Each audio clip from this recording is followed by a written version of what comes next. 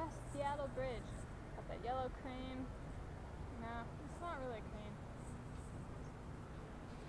There was the crane from the location yesterday.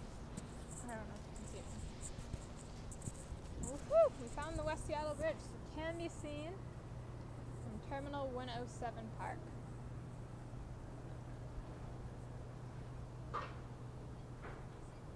Second. Working area here.